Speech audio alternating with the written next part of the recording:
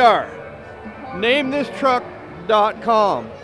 So please go to my website and name this truck so I can drive a truck with a name. Please. That'd be great. I'd appreciate it. Thank you. How are you? It's, it's a little chilly in here. Yeah, just I'll just on the ground here. That's right. Make us famous. Make them famous. I know, that's awesome. Hey, you get your shirt. Is on your shirt. Welcome TB, TMB TV to Asheville, North Carolina. It's time to make it or break it. 'cause that's what we're gonna do. Double duty tonight, huh? Yes, sir. Double duty. Gonna drive the General. Yeah, that way we can figure out what the shocks are doing, what transmission's doing. It's hard when you're watching everything, trying to figure out what it is, because you want to be able to watch the trucks, you know, as in what they're doing and putting on a show. But then you catch yourself not watching the suspension, not watching drive lines or whatever. You can feel a lot from inside the seat on one of those things.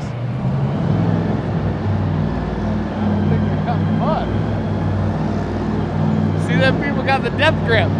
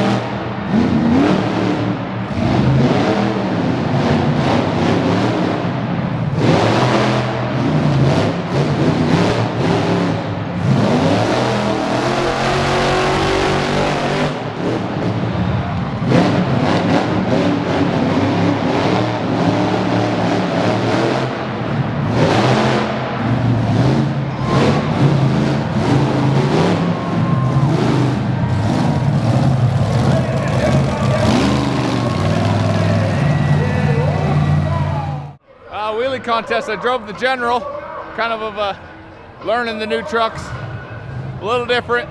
It lost the power steering belt first off. We uh, it lost the broken belt last week. We went ahead and found one in the trailer. I mean, it's a whole new trailer. We haven't really stocked up on parts yet, so we found it's just an old one. We went ahead and bought new ones for spares. The old one went ahead and it took a crap, you know, as soon as I went out there. So it was a little rough trying to figure out truck. The steering's a little different, but uh, had a good wheelie in that one. Got in Rockstar, you know, and hammered down. I think it was a good wheelie contest. I don't know if you guys can see on the videos, but these beams are pretty low. It's kind of freaky as you're coming up in a, a good sky wheelie and you see a beam coming at you in the windshield. And, uh, but uh, keep tuned. We're going to have a great show to come still. We'd like to take this time to thank our sponsors. We'd like to thank all the folks that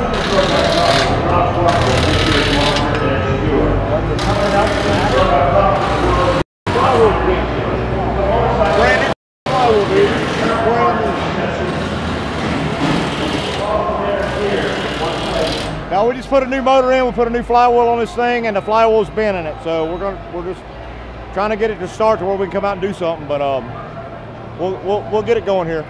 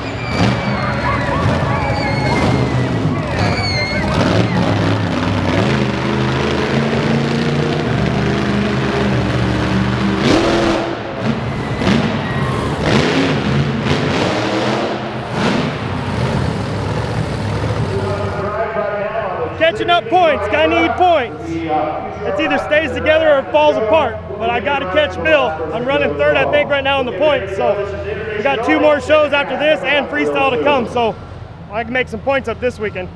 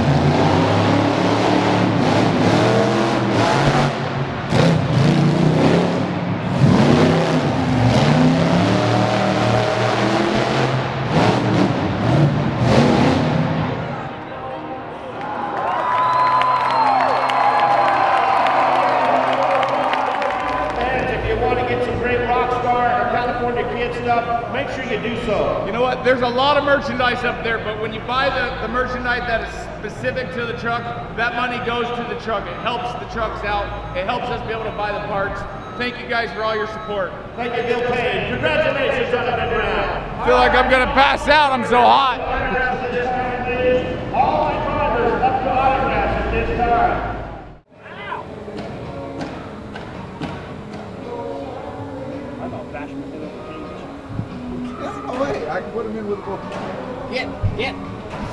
Oh God, it's Colby's here. Put freaking seven quarts. T and TMB TV down there. Put seven quarts of oil in it. This is what a rod bearing should look like. It shouldn't look like this. That's what a blown up motor looks like. Anytime you got to break out one of these to work on a crank, it's bad. The uh, they say rule of thumb: if you can feel a groove with your fingernail on a crank, it's bad. When you can feel them with your finger, it's really bad. When you can flat see them, yo, it's gross. Yeah. What is this part? This is the name this part. This goes inside a motor somewhere. We'll be back after these quick commercials for the answer. And we're back. This part is a rod bearing, number four cylinder. That's melted together and then oozed out the rod. Gross. Oil is not. Did you get that on tape? Damn it. You tighten your belts? Uh, no, I did not. Yeah, I had no steering. I forgot to tighten my power steering belt, so I Cut to head out of the bucket there. That is gross looking oil. That's when you run your motors too fat.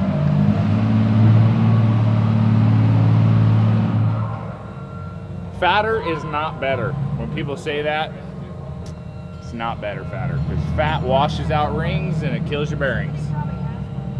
I can go eight weeks and my oil still looks like oil. This oil was changed last Saturday and look at it already.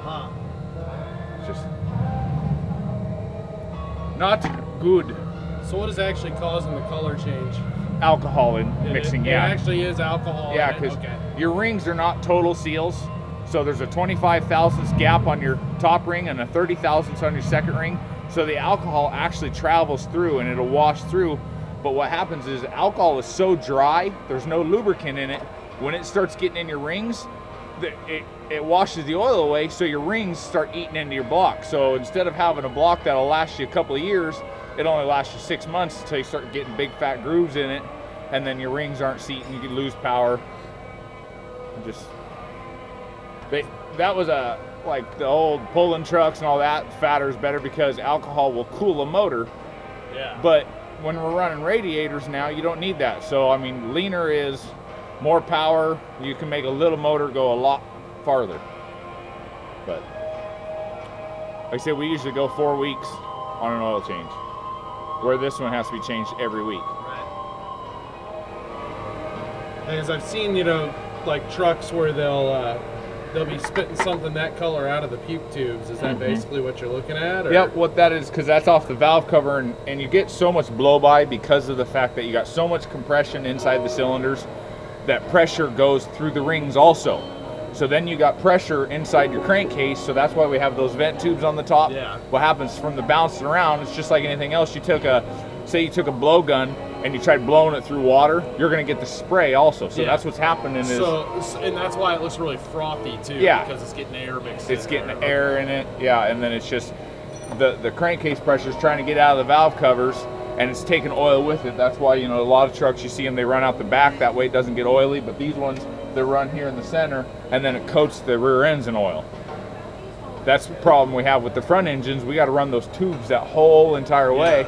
So you'll see me sometimes if i'm backed up to a wall there'll be oil splattered on the wall because when i first start it'll go boom and there's always it's kind of like a vacuum deal where once you start the rings actually expand out and that's what seals your motor. So you don't have complete compression when you're just cranking it over. When it starts they they they fully expand because the pressure goes behind the rings there's little holes drilled in all the pistons so the pressure goes behind the rings and makes the rings do this number so when it does that then you get that poof and then it sprays oil out the back of the truck because our breather tubes go all the way back to the end of the frame on those.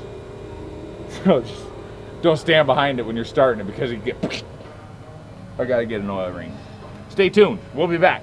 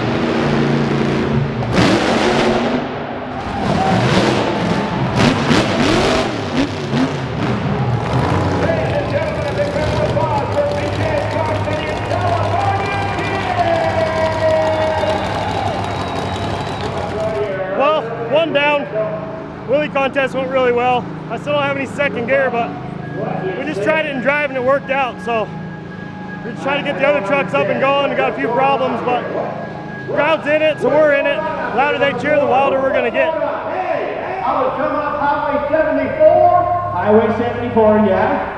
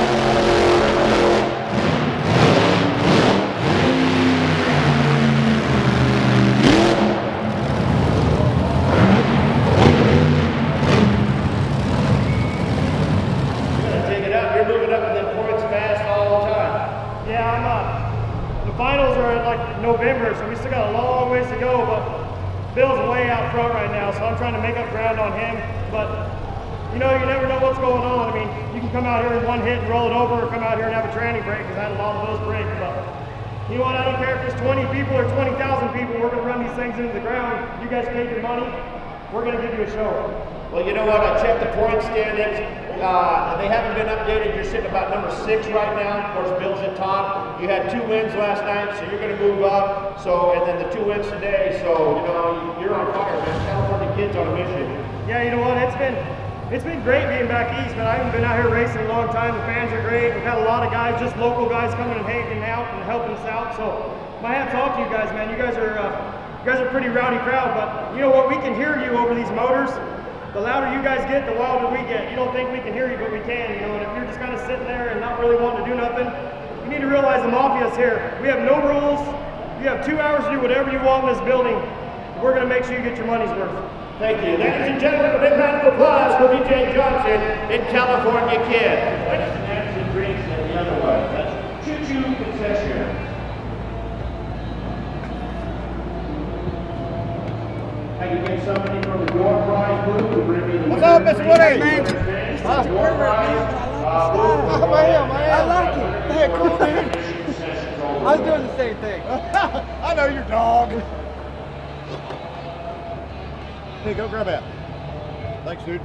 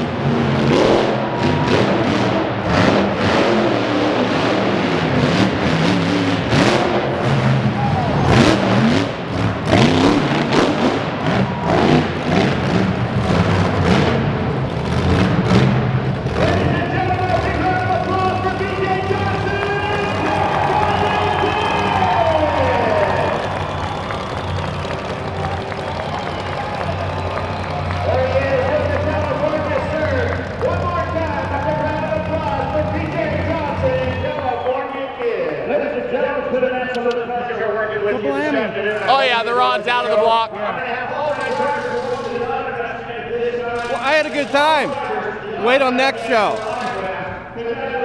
We survived another day. Uh, I guess I started out doing this uh, back when I was in high school, uh, helping Don Maples with a Samson truck, you know, and uh, went on the road with him, you know, after I got out of school, and then I got an opportunity when he when he sold the truck. I went to um, went to California, working for Seth Dalton and Golden State Promotions, running the Skull Bandit and the MPM trucks, and uh, Dennis. Uh, I was out there the first year. Dennis and them came to the West Coast and running against all the TNT boys, and uh, kind of hooked up with him and started driving for him in uh, early 1991 and worked for him till 98 and just got burnt out on it, you know, and retired and moved back home to Alabama and went to fishing and hunting and, and here I am. They called me to drive a War Wizard um, back in December and here we are again, man. This one like? This one compared to buck up truck. Uh, triple bypass shocks, real nice. It lands really soft. Uh, this motor's 572. It's probably got two or three hundred more horse than the other one, so it's uh, got plenty of go power. I like it. I like it a lot. You know, I get to drive a little bit of everything. That's kind of fun too. You know, good for me as a rookie driver. Get to drive. You know, I drove the kid. I've driven four of them now. So actually, as a driver, it's, it's been great.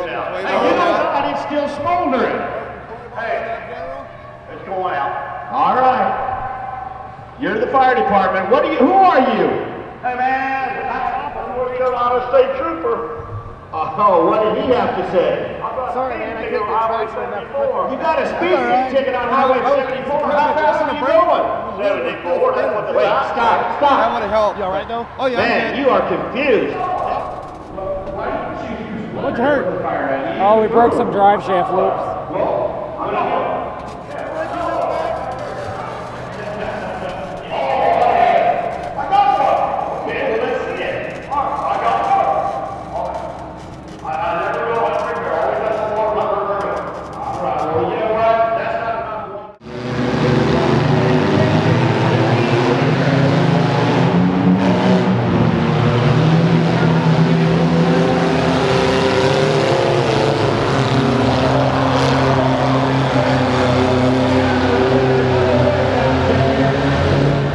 Well, uh, Jake pushed me over. He came from the side and just knocked my truck.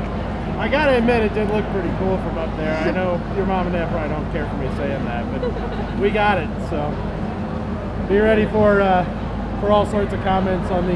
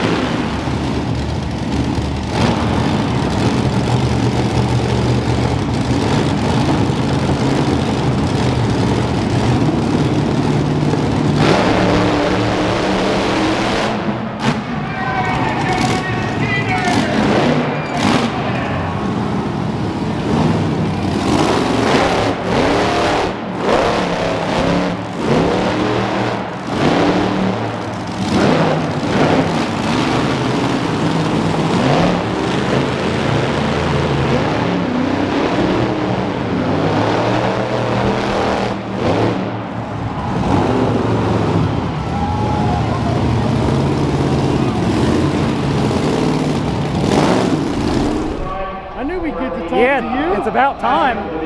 I can't believe I haven't gotten a wheelie win yet here. I know there's a bunch of good trucks here that can wheelie, but man, I, that's sort of what I've been doing. And you know, last night when they had the last night when they had the dirt up to the cars, I tried and tried. It was getting aggravated not being able to stuff the stuff it into the cars.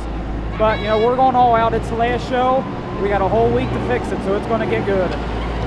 Wheelies are really good. Um, still having a training problem. I'm not tired of saying that every week, but uh, we I think we got it figured out now. The linkage is a little bit off, so I was in between gears.